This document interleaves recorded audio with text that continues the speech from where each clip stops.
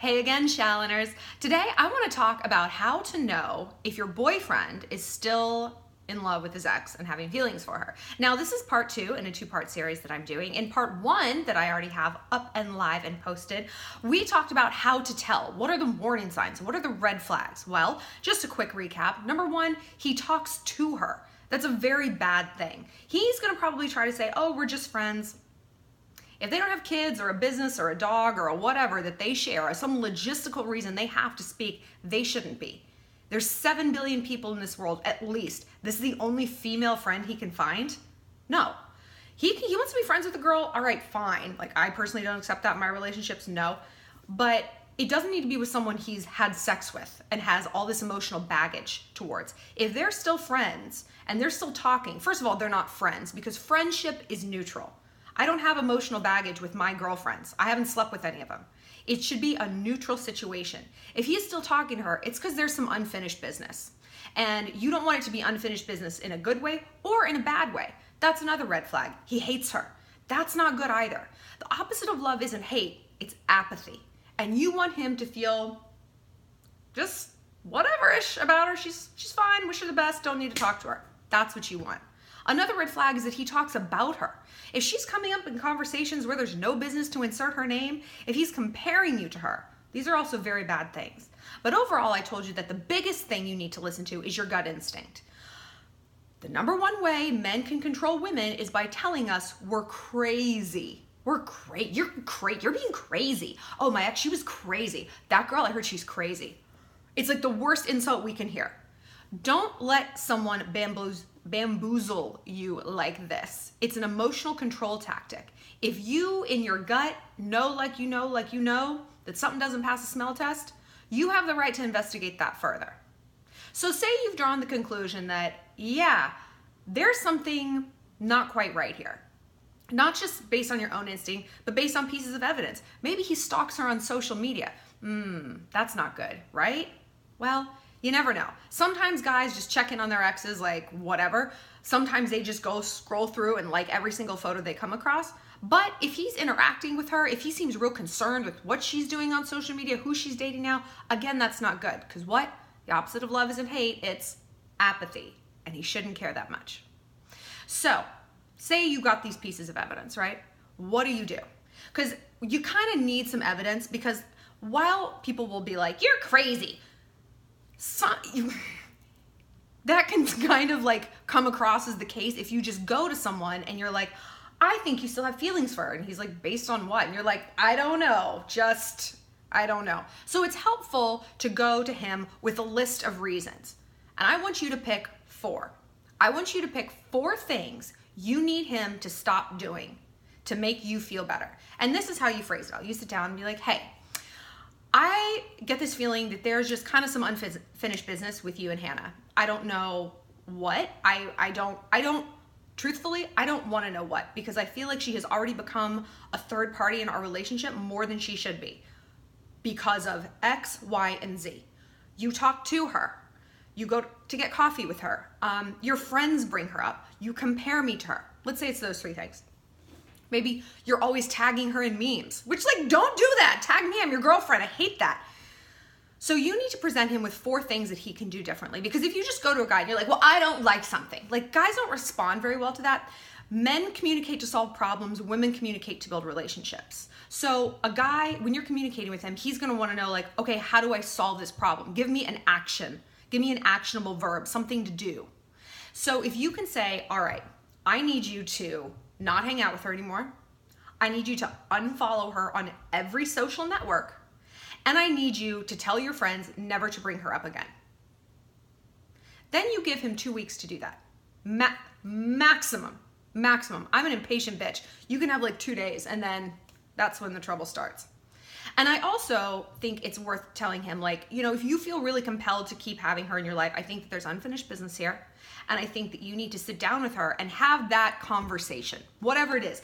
Hannah, I can't believe you cheated on me and I've never addressed it and it's messed me up and I just need to get this off my chest. If he feels like he needs some sort of closure, encourage him to go do that. Maybe. As I've said in other videos, I have a whole video on closure, actually. I'll tag it here in the cards. Um, closure is not something other people can give us. Closure is something we have to give ourselves. Because when you think about it, people who hurt us so bad that we need closure aren't able to communicate enough and get in touch with their feelings enough to give us that balm for our emotions that we're needing. If they could, they wouldn't have hurt us like this in the first place. Do you know what I mean? They're not capable. So to sit down with someone who's hurt you so badly and so deeply that you still feel this emotional tie to them, it's almost going to make things worse. And maybe try to communicate that to your boyfriend. Be like, if you have unfinished issues about this relationship, I need you to get right with that somehow on your own. Write her a letter that you don't send. Go see a therapist. Send her a final goodbye email and say, I don't need to have any more contact with you. Whatever it is, she needs to be removed from this situation. Then you see what he does. Say you give him two weeks and say nothing's changed. You catch him liking her photos, you catch them talking, you catch him doing this, whatever. Or he just flat out says, No, I don't think I don't think that this is a problem. I think you're being ridiculous. I don't see why I should have to slash and burn everyone from my past to ameliorate your crazy jealousy. Crazy. You see? You see? I believe that while, yes, sometimes we can act unreasonably in relationships, I also believe in our right to dictate our own boundaries. What works for me in a relationship might not work for you. What works for you might not work for someone else. That's okay. We are allowed to determine our own ideal relationships. And you have the right in your relationship with your boyfriend to be like, that's simply not okay with me. You can say it's unreasonable, you can say I'm being crazy, whatever. At the end of the day, I need X, not Y. So you can tell him, like, all right, if that's your position, you need to decide then. You cannot look ahead and behind at the same time. You cannot be invested in me and still tied to her at the same time humans only have so much emotion to give. We only have so much energy. We only have so much time in the day. So if you're focusing on her, that's that's energy that you're not spending on me. That's future you're not planning with me. So I think you need to decide if you want her, then you need to go be with her. Don't keep me on the hook as like some placeholder while maybe you're waiting for her to come back or whatever it is.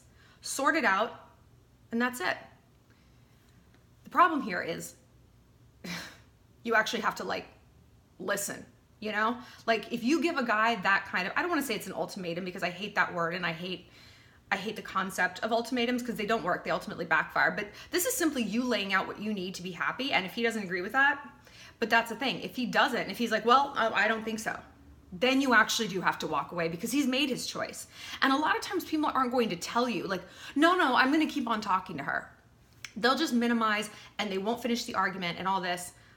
But sometimes no answer is an answer. And that's when you have to look real hard at his behavior. And that's when you have to look really hard at yourself and be like, am I okay being second place in this relationship? Because if I'm not first, then what am I? Again, he only has so much energy, so much time, so much emotion. Why do I think it's okay that I'm not getting all of it? Why do I feel unworthy? I'm not unworthy. I am worth someone's undivided attention. I hope this has been helpful. This is a huge thing everyone has to deal with, especially in the age of social media, because before, when you broke up with someone, they just kind of like drifted back out into the world. And in a way, breakups were harder because it's like when you lost them, you lost them. You don't know where they are now. But now it's hard because, oh, you didn't lose them. They're right there. Just a, just a, just a scroll thumb away down your Instagram feed. There you are, James. Sucks. So do what you need to do to feel okay. And remember that he, if he's choosing these behaviors, he's also choosing his consequences. And therefore, you get to choose whether or not you want to stay in this relationship. If you enjoyed this video, click like and comment below. I love reading your guys' comments. It's the easiest place for me to answer your questions. So please, please, please comment up a storm. I love it. And click subscribe. Gonna do new videos every Friday. And I, tell me if you like this filming situation. Filming at the YouTube studios is just such a pain in the ass. It's beautiful, but like, it's so much easier for me to do it here. And if you guys find this acceptable, then I can do so many more videos, which I think is gonna be better. But tell me your thoughts and follow me on social, Twitter, Instagram, and Snap at ShallonXO.